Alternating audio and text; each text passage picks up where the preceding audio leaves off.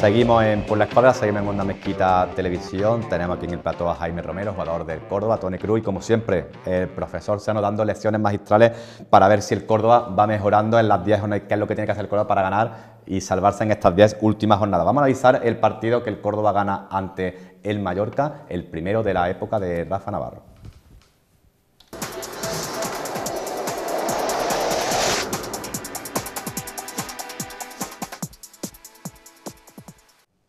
Y Jaime, estamos viendo imágenes, se pone el equipo por delante en los primeros minutos de partido. qué bien está Andrés y qué bien está Pio Bacari, ¿verdad? Sí, sí. La verdad que sí, que, el primero es un golazo y, bueno, Pio Bacari dentro del área ya sabemos cómo es. O sea que... Luego falla penalti de las cuevas, llega también este, en la segunda parte eh, gol de, que viene precedido de este fuera de juego, también de falta al portero en la acción previa y tocaba remar a contracorriente. Fuera de juego, ah, Jaime. Sí, bueno, al final está claro que, bueno, mira, el gol de Pío también es fuera de juego y uno por otro. Y con el 2 a 1, la afición a favor, eh, el equipo se viene arriba, hace esta acción, le llega a De las Cuevas y qué golazo. Golazo.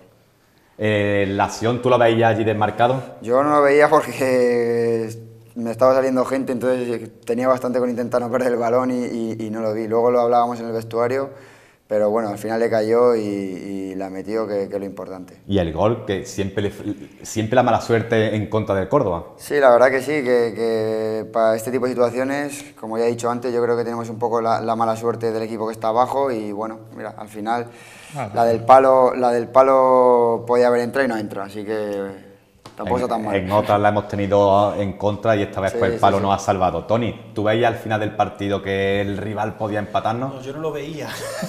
yo, lo estaba soñando ya que se acabara, ¿no? Sí, claro, tenía mucho miedo. Yo creo que todos los que estábamos allí presentes teníamos ese miedo en el cuerpo por experiencias pasadas. Eh, lo mismo que ahora ya, después de lo que hemos vivido, empezaremos, o espero que empecemos a dejar de tenerlo, sobre, sobre todo si le ganamos al Elche. ¿no? Yo creo que el partido del Elche todos lo son, ¿no? Todos van a ser el partido más importante de la temporada, pero creo que si cabe, el partido del domingo va a ser el más importante, sobre todo porque es partido bisagra, ¿no? Es un partido que te puede permitir soñar con, otra cosa, con otro final de temporada, viene el Lugo en el siguiente, es un partido decisivo, absolutamente decisivo. Todos lo van a ser, pero si cabe el del domingo más, más aún, porque ganar dos partidos seguidos es lo que necesita este equipo. Dos, el domingo no va a faltar dos futbolistas importantes, a ellos también porque tienen un futbolista importante a ellos que no va a jugar, pero a nosotros nos ha faltado futbolistas muy importantes, futbolistas como Jaime, no Romero, Jaime, como ha sido toda su vida, Jaime. Los periodistas le dan por poner los apellidos ahora a la gente y yo no sé qué rollo es ese.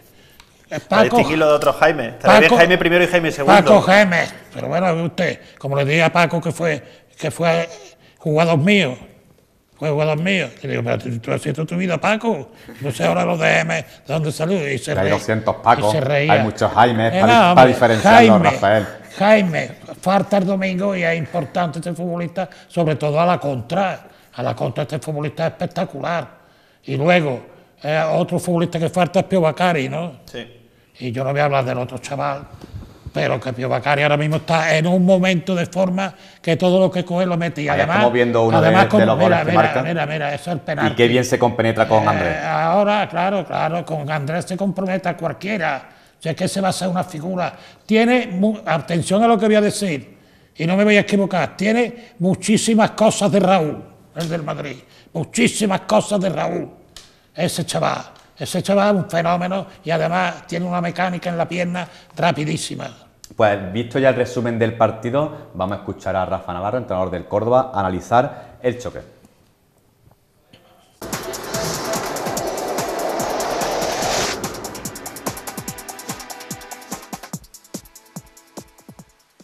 Sí, hombre, es lógico, ¿no? Eh, ellos tienen muy buen equipo, un equipo que va a luchar por subir a Primera División. Y bueno, creo que hemos tenido que hacer muchísimas cosas bien para, para llevarnos el partido y la verdad que estoy súper contento del trabajo que, y, la, solidaridad que han tenido los, jugadores en el terreno de juego. ¿no? La verdad que, que seguimos teniendo mala suerte porque el segundo gol de ellos también lo hemos hecho nosotros, pero bueno, la verdad que muy contento sobre todo de, del rendimiento y, y, creo que hemos dado imagen de, de equipo. ¿no? Bueno, muy contento, está claro que ahora mismo Llevamos una racha de, de, tragar mucho, creo que hoy ha sido un subidón importante para los jugadores, pero bueno, ellos son conscientes de que estamos todavía donde estamos y que ya solamente hay que pensar en el Elche, ¿no? Está claro que hoy tienen que desconectar, pensar en otras cosas, pero a partir de mañana pues hay que pensar ya en el Elche, que es el siguiente, siguiente equipo, ¿no? Sí, yo estoy convencido y estoy contigo, ¿no? Está claro que, tenemos que mejorar en defensa, no, no regalar tanto, pero bueno, está claro que que esta semana que, que, entra vamos a trabajar en errores que seguimos teniendo de la segunda jugada y, errores que tenemos en defensa que nos están condenando mucho. Y yo creo que el equipo tiene cosas ofensivamente como para, para ser optimistas. ¿no? Entonces, trabajaremos, seguiremos trabajando y, estoy convencido de que con esta actitud se pueden hacer cosas. ¿no? Sí, ya lo hicimos en Cádiz, salió bien y la verdad que muy contento del trabajo que ha hecho Pío Bacari, Andrés también. Y bueno, eh, la pena que Pío no puede puede jugar la semana que viene, creo que tiene tarjeta y tendrá que hacerlo Carrillo, pero bueno, también Carrillo ha salido fenomenal, ha salido enchufado, nos ha dado muchísimo oxígeno en momentos delicados y la verdad que estoy contento de, los jugadores. ¿no? Bien, tranquilo, creo que tenemos dos grandísimos porteros, tanto Carlos como él, y creo que ha estado en la línea del equipo, ¿no? creo que ha dado seguridad y, la verdad que estoy muy contento del trabajo. Al final los jugadores cuando trabajan y me he acordado de los jugadores que no vienen, que no vienen participando, ¿no? me he acordado de Kim, me he acordado de jugadores que de Vallejo, de jugadores que no están jugando ahora mismo y que la verdad que eh, en los entrenamientos hacen que, que todo el mundo se esfuerce y, así es, mucho más fácil para un entrenador cuando tiene un equipo que está metido. ¿no? La verdad que tenemos la suerte de tener 24 jugadores muy metidos en el tema. ¿no? Ahora cuando te vives esos momentos pues te das cuenta de, del viejazo que meten los entrenadores de primera división, ¿no? que lo ves un año, lo ves al año siguiente y tiene más ganas que, que el Puma. ¿no? Pero bueno, la verdad que con mucho sufrimiento, y, pero bueno, ojalá se sufra así y consigamos muchos más puntos. ¿no? Pues indica que no gana para disgusto y que ahora entiende por qué le salen a los entrenadores de primera tantas canas. Y es que no gana para disgusto, sobre todo en los tramos finales, ¿verdad? Vaya nerviosismo. La verdad que sí, que, se nota que, sufre y bueno, eh, igual que todos, pero está claro que, él es el entrenador y que, su papel al final es más complicado porque, bueno, eh, al final es el, responsable de esto, entonces bueno, eh, nada. El... ¿Habéis notado tanto cambio de entrenador desde la llegada de Francisco, luego Sandoval? Mm, Eso lo que mucho, hace... mucho entrenador, mucha, como mucha pretemporada, ¿verdad? Le pregunto a Jaime, le pregunto a Jaime, Rafael. Eh, bueno, al final está claro que, que cuando hay tantos entrenadores, pues bueno, al final cada uno tiene su manera, cada uno tiene su su manera de ver el fútbol y lo que tenemos que hacer es intentar adaptarnos lo, más rápido posible. Está claro que, que, yo creo que con el míster nos hemos adaptado muy bien, que, que, intenta ser justo con la gente y bueno, al final yo creo que, que si seguimos así vamos, vamos de, en buen camino y, el equipo está progresando. Y aunque va a haber bajas para Elche, pero se sabe ya un Córdoba lo que juega, es el esquema definido, más o menos jugadores ya que están teniendo continuidad, es que hacía falta eso, ¿verdad? Sí, bueno, al final está claro que, cuando eh, un equipo tiene más o menos el, sistema definido, la manera de jugar definida, al final eh, las cosas son mucho más fáciles. Entonces, bueno, yo creo que, tenemos que seguir en esa dinámica, que, los jugadores tenemos que, implicarnos y, hacer todo lo que nos dice el míster para, para, progresar y a raíz de ahí, bueno, ver qué es lo que pasa. Y ahora vamos a analizar las claves del partido con la pizarra del profesor Sedano.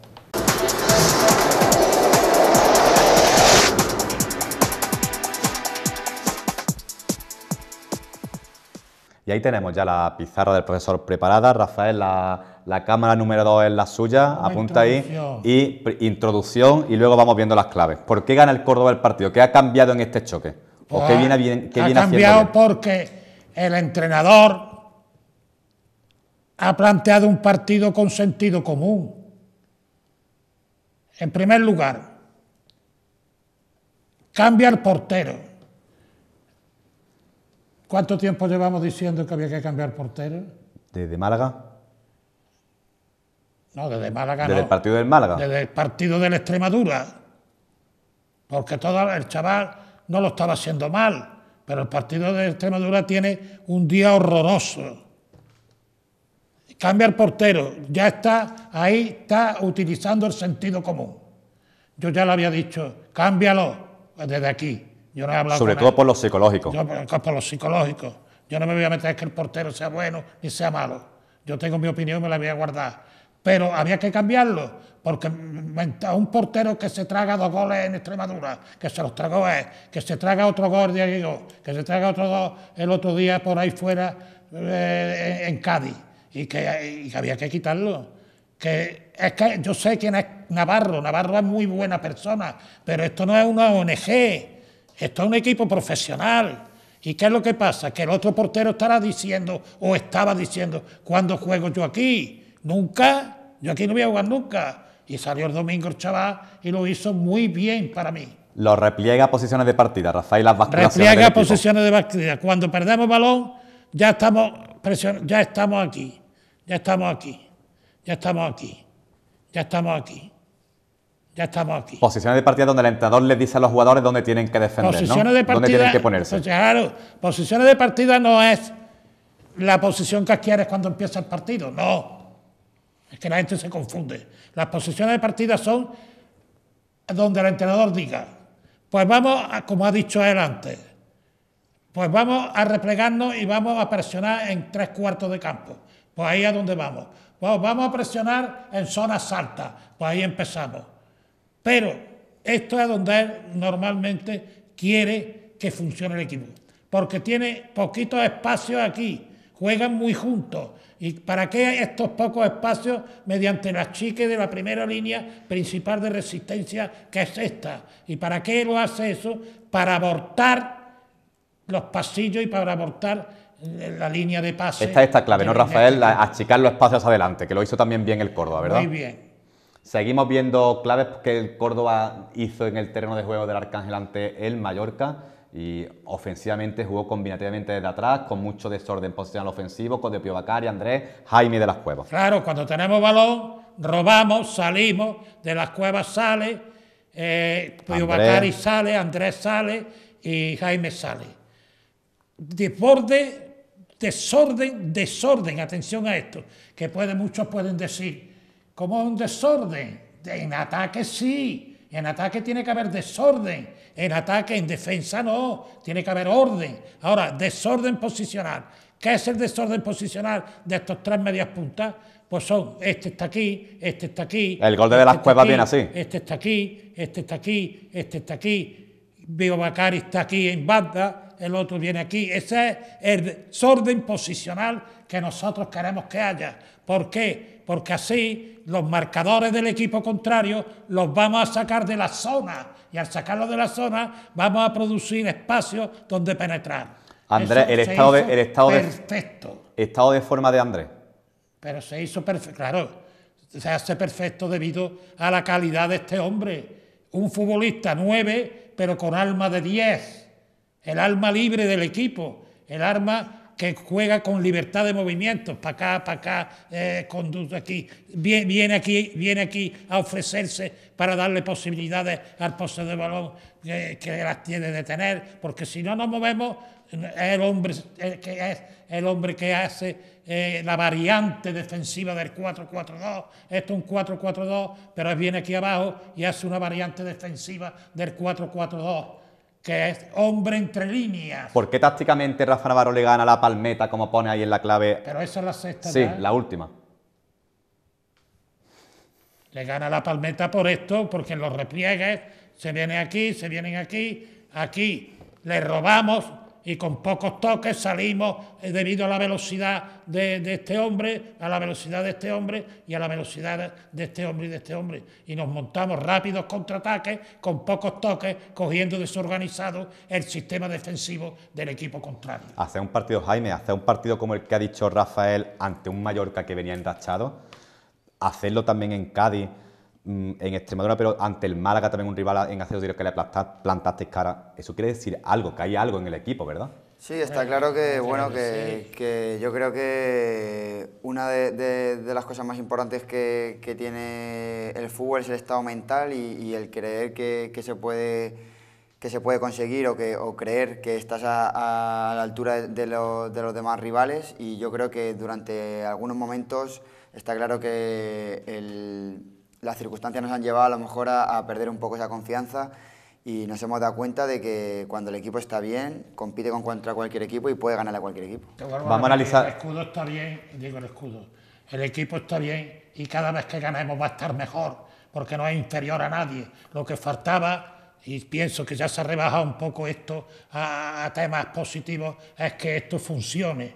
Porque además hay otro tema muy claro, que calidad sin esfuerzo ruina. Vamos a analizar el 11 que y esto saca... es lo que hay que evitar, la ruina defensiva. Rafael, vamos a analizar el 11 que saca Rafa Navarro ante el Mallorca. Vemos también jugadores, quién pueden suplirlos para el próximo partido.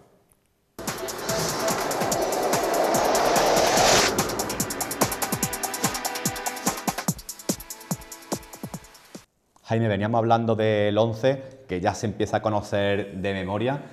Qué pena que no tenga continuidad en Elche, porque va a ser también, como ha dicho Tony, un partido bisagra, un partido importante, ¿verdad? Sí, la verdad que sí, que, bueno, eh, yo creo que, cualquier compañero que entre ahora mismo también está capacitado para, para, hacer el mismo trabajo y yo creo que, en Elche, de, independientemente de que de que no estemos Pío o que no esté yo, yo creo que, el equipo está capacitado para ganar. Tony, eh, el 11 se empieza a, aprender de memoria, Luis Muñoz y Bodiger, un medio centro defensivo. ¿Necesitaba eso también el equipo? Evidentemente el equipo parece que tiene más, más empaque, por lo menos parece que se complica menos, ¿no? que le venía pidiendo al Córdoba desde el principio de temporada, ¿no? que no que no abundara en alardes, que no perdiera balones en campo propio, que al final en segunda muchas veces eh, los goles llegan así, ¿no? Y ahora pues parece que el equipo está un poco más seguro, sabe, sabe lo que tiene que hacer, sobre todo ha generado una serie de automatismos ofensivos que son muy importantes, ¿no? Eso no ha faltado casi nunca en la temporada, pero quizá ahora esté en su mejor momento. Y luego, pues bueno, lo de siempre, en defensa hay que bajar esa media de goles encajadas, si no estamos en las mismas, ¿no? El, equipo del 11, como habéis dicho, ya es más reconocible, va a tener que tocarlo Rafa Navarro naturalmente por esas bajas, pero bueno, eh, esperemos que la victoria sea un jugador más, ¿no? La victoria conseguida es un jugador más en el Martínez Valero, ¿no? Eso es importantísimo a nivel psicológico. Sí, Rafael. Como vemos aquí, pasa al 4-1-4-1. 4-1 y te gusta, ¿te gusta cómo mueve así el, eh, el, equipo? Te he dicho que acertó. ¿Por qué? Porque va ganando y él dice, quito a Pio Bacari, meto a otro futbolista ahí, meto a... ¿Cómo es? El chico este... Vallejo. No, el otro. Touré. Touré. meto Touré y juego con Vallejo de hombre ancla por delante de los cuatro hombres, Vallejo de hombre ancla, por, de los cuatro hombres de la primera línea principal de resistencia y luego dos por delante que son eh, eh, eh Bodiger, Bodiger y, y Touré. y Touré. Touré, Bodiger y Vallejo. O sea, ¿leyó bien el partido? Lo leyó bien, perfecto. Lo leyó bien, muy bien.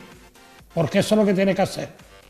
Es un entrenador joven, un entrenador que hay que ayudarle y un entrenador que tiene sus limitaciones todavía porque tiene proyección, pero está verde. Pues Jaime, ¿cómo es Rafa Navarro en el vestuario? ¿Cómo ha cogido? que lleva más o menos un mes con vosotros. Bueno, yo creo que, se nota que, es muy buena persona, que, bueno, que nos intenta ayudar. Está claro que, cada persona es diferente. Yo creo que es un poco también un poco reservado porque bueno, eh, al final eh, cada uno es como es, pero está claro que, a mí por lo menos desde el primer día me ha tratado muy bien, que yo creo que intenta que la gente esté a gusto y como ya te he dicho, creo que, se nota que es buena persona y al final eh, eso también es muy importante porque los jugadores eh, hace que, las decisiones que tomas te las tomas de otra manera porque ves que no que al final le molesta el tener que dejar gente fuera. Vamos a escuchar a Juan Antonio Gutiérrez, lo pueden seguir en las redes sociales en arroba el del coche de vídeo y esta es su visión de cómo vio al Córdoba en el último partido. Muy buenas, Rafa, profesor, amigos de CCF al día. Bueno, pues el Córdoba tiene eh, una bola extra, ¿no? Como se suele decir muchas veces en los juegos, una vida extra, llamarlo como, como se quiera, ya que bueno, eh, después de vencer 3-2 al, al Mallorca, sufriendo más de la cuenta, teniendo en cuenta que llegamos a ir 3-1 bien avanzada la segunda parte, pero al fin y al cabo se quedaron los tres puntos en casa y se pudieron recortar dos respecto, por ejemplo, al Lugo, que sí es cierto que sacó un punto de Alcorcón, esperábamos una derrota del Lugo, pero sacó un punto que le supo a gloria más, sobre todo cuando el Alcorcón falló un penalti faltando dos minutos para el final del partido. Un partido para el Córdoba que se puso muy de cara al comienzo, con ese gol eh, tempranero de Federico Piovacari, que volvió a hacer dos goles. Eh, el árbitro en general no estuvo bien, el empate de ellos en fuera de juego, el 2 a 1 nuestro en fuera de juego y nos pusimos 3 a 1 con un golazo de, las cuevas que se resarció un poco del penalti fallado, era la duda que yo, que yo tenía de cara a la segunda parte, el no haber aprovechado ese penalti, pero al final lo importante son los tres puntos. Si el Mallorca en esa pelota al palo llega a empatar el partido, yo creo que definitivamente a nivel psicológico el equipo hubiese muerto deportivamente hablando, ¿no? Porque si ya ni con un 3 a 1 hubiera avanzado a la segunda parte se gana, pues imagínate, ¿no? Eh, estamos a 7, tenemos que viajar a Elche, tiene que venir aquí el Lugo el domingo de Ramos por la tarde. Y yo, yo, sigo, yo sigo siendo negativo. Yo pienso que la, la, salvación está muy difícil. Evidentemente veo un poquito más de luz que hace, que hace una semana, pero lo veo difícil más que nada porque encajamos goles en todos los partidos. Y eso significa de que tenemos que hacer un mínimo de 2-3 goles para poder ganar.